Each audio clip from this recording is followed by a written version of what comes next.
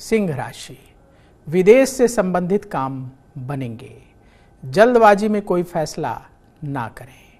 शिक्षा के क्षेत्र में सफलता मिलेगी। कई दिनों से चली आ रही परेशानी दूर होगी।